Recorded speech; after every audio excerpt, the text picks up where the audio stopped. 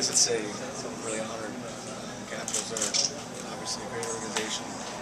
Uh, just be among some of the players' names that are getting called today is, is pretty special. I think about something like this for a long time. It's, uh, it's been a really cool experience so far. Exciting that a lot of the kids, a lot of you from the development team are all getting drafted at the same Yeah, time, and three of you now to the Capitals. Yeah, it's been, um, you know, I get to see, uh, who just went to Pauli, right? Paulie went, Yeah, and uh, Wood- Wuthrich. Just With, Wood, okay.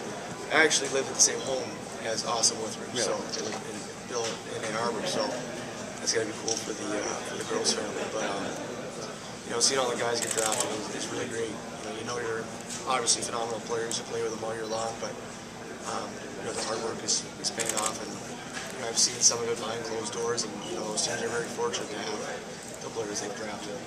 Are there some benefits to being drafted by the same team when you are teammates?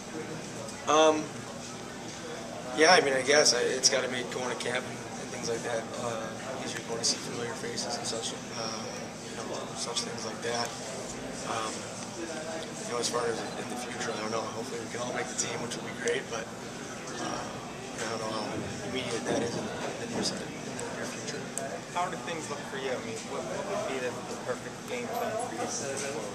Perfect game plan is, uh, you know, just have a really outstanding uh, freshman year at the University of Michigan. That's where I'm going next year. Um, and kind of work from there, just go year by year. Hopefully be able to uh, the Capital jersey with my name on the back and, you know, the NHL someday. what, kind, what kind of player are you? Um, good two-way, uh, uh, two-way defenseman, you know, good offensive defenseman. It's kind of a role I try and take out in my game. You know, the well, good defensively.